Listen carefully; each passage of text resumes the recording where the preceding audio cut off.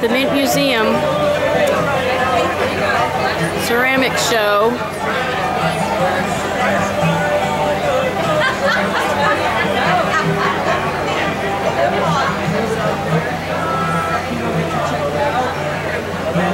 Start rapping again.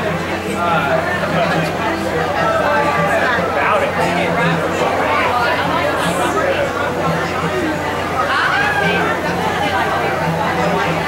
Is making his first sale of the day at 9 o'clock. They just opened the gates.